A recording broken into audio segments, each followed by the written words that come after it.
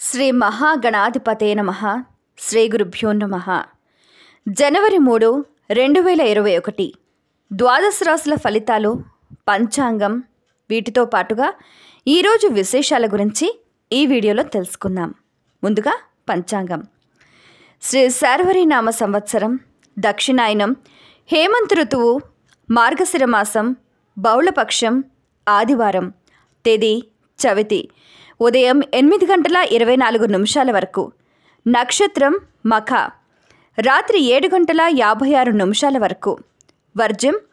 ఉదయం ఎనిమిది గంటల ఆరు నిమిషాల నుండి తొమ్మిది గంటల నలభై రెండు నిమిషాల వరకు. దుర్ముహూర్తం. సాయంత్రం నాలుగు గంటల ఏడు నిమిషాల నుండి నాలుగు గంటల యాభై ఐదు నిమిషాల వరకు.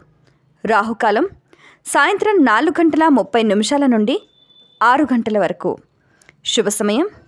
సాయంత్రం ఐదు గంటల ముప్పై ఐదు నిమిషాల నుండి రాత్రి ఏడు గంటల తొమ్మిది నిమిషాల వరకు.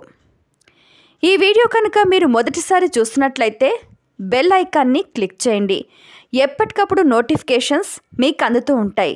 అలాగే ఈ వీడియో మీకు నచ్చినట్లయితే లైక్ చేయండి షేర్ చేయండి సబ్స్క్రైబ్ చేయండి. ఇక ద్వాదశ రాశుల ఫలితాల విషయానికి వస్తే ఈరోజు మిథున తుల కుంభ మీనరాశి వారికి అద్భుతమైన శుభ ఫలితాలు గోచరిస్తున్నాయి.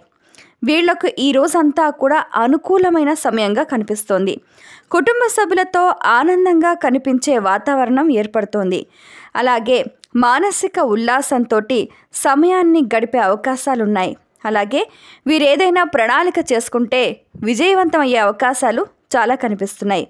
ఇక వృషభం కర్కాటకం కన్య ధనస్సు మీనరాశి వారికి మిశ్రమ ఫలితాలు గోచరిస్తున్నాయి. వీళ్ళకు కొంచెం ప్రయాణ సూచనలు కనిపిస్తున్నాయి. ఆధ్యాత్మిక కార్యక్రమాల్లో పాల్గొంటారు. శుభవార్తలు వింటారు. పనులన్నీ కూడా చకాచకా సాగిపోతాయి. భూ వివాదాలు ఏవైనా ఉంటే కూడా పరిష్కారమయ్యే అవకాశాలు కనిపిస్తున్నాయి. కుటుంబ పరంగా బాధ్యతలు పెరిగే అవకాశాలు ఉన్నాయి ఇక మేషం వృశ్చికం మకర రాశి వారికి ఆర్థిక ఇబ్బందులు అనారోగ్యం వ్యాపార విస్తరణ ఆటంకాలు చికాకులు కూడా ఏర్పడే అవకాశాలు ఉన్నాయి కాబట్టి వాటికి తగ్గట్టుగా తగిన జాగ్రత్తలు తీసుకుంటూ ఇష్టదేవత ప్రార్థన చేసుకుంటే చాలా మంచి ఫలితాలు దక్కే అవకాశం ఉంటుంది. ఇక ఈరోజు తిది విషయానికి వస్తే చవితి. విద్యను ప్రారంభించడానికి కానీ చదివిన విద్యను వల్లవేయటానికి కానీ అనుకూలమైన రోజు. అలాగే మఖా నక్షత్రానికి అధిపతి పితరులు. ఈ రోజున పితృదేవతల ఆరాధన చేయటం వల్ల కూడా వీరికి సర్వ శ్రేయోదాయకంగా కనిపిస్తుంది. స్వస్తి.